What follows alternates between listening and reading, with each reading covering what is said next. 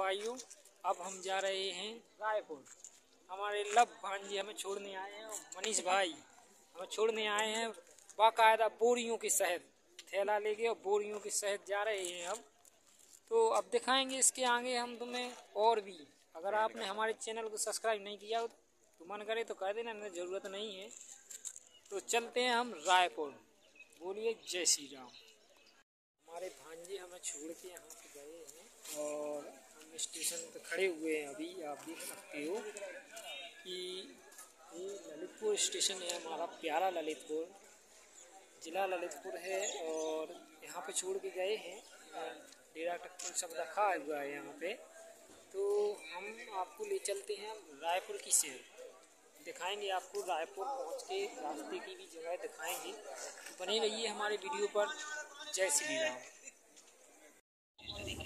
आप देखेंगे कैसे इसको अच्छे से फायर बन रही है। तो उसमें भी फायर अब आपको क्या करना है एक दो चीज़ें और आपके कदम में है या तो आपके पास बादाम वाला तेल या वो थोड़ा एलोवेरा या पानी में भी एक काम करेंगे कि ऐसी कोई बात नहीं ये भाई लोग जनरल डिब्बे की भीड़ किस प्रकार भीड़ मची हुई है और सभी लोग यहाँ पर सो रहे हैं जो आप तो फंसे हुए हैं लोग तो होती है जनरल डिब्बे में।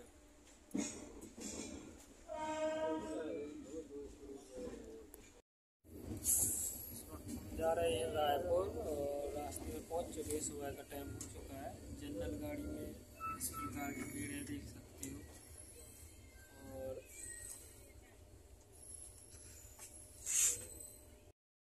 देख सकते हो बाहर का मौसम किस प्रकार। है। आपको नज़ारा दिखाएँगे, सुबह सुबह का है, लगभग हम नागपुर के पास पहुँच चुके हैं।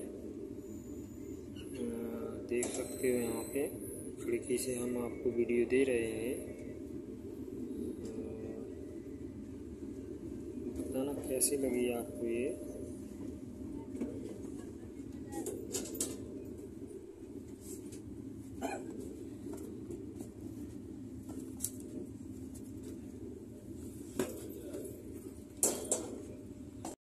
सीट मिल गई। ऊपर वाली सीट मिली है बैठने के लिए अभी। सुबह मिली लेकिन रात दिन भर मतलब रात भर हो चुकी है, यहाँ पे नीचे सीट पे बैठे, सोते भी हैं। ऊपर सीट अभी मिली है। देख सकते हैं सुबह सुबह। तो चलते हैं आगे की ओर, बताते रहेंगे आपको कैसे रहा सफ़र। इस वक्त आ चुके हैं हम डोंगरगढ़ ही क्षणों में हम लोग रायपुर। गाड़ी चलने वाली है देख सकते हो आप।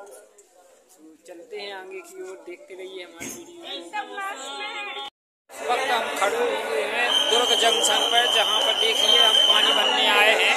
तो चलते हैं गाड़ी का हॉर्न बज गया है। तो चलते हैं आगे की ओर रायपुर।